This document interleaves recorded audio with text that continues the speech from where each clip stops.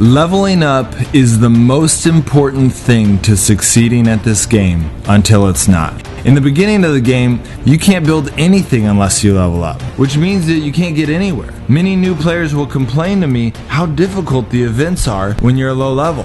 And they're right. Events are difficult when you're a low level. But more than being difficult, events are actually the biggest handicap to players who want to level up. A lot of players, when they first start, will see all the events and start going to them. But doing an event will only give you a few hundred experience, and you usually end up using a lot of your energy to get to those events. However, simply going to the green zone and doing one basic farming run, which takes 5 to 10 minutes, will usually give you over 3,000 experience. Before level 5, 3,000 experience is two full levels. After that, it is well over a level until around level 40. Is it sexy?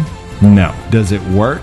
Yes. Now, if you're a really new player, you may not realize that any of the zones with a color attributed to it will regenerate every time you walk away from the area. They become an entirely new area. This is different than the bunkers, AI bases, and events that stay the same for a set amount of time, depending on which one we're talking about. Now, you can also farm the yellow and red zones, which will give you significantly more experience, but I wouldn't recommend it because your backpack can only carry so much, and in my opinion, it's not worth the travel time. Furthermore, the red and yellow zones don't really have anything that you need that you can't get in the green zone. I recommend spending all of your time in the green zone. It is the best way to get the materials to build a strong base. If you're lower level, you probably need to work on your base. I recommend checking out my video on how to design your base. If you design your base like mine, you will end up farming the green zones over a hundred times and will hit level 99 well before all of your walls are level 2.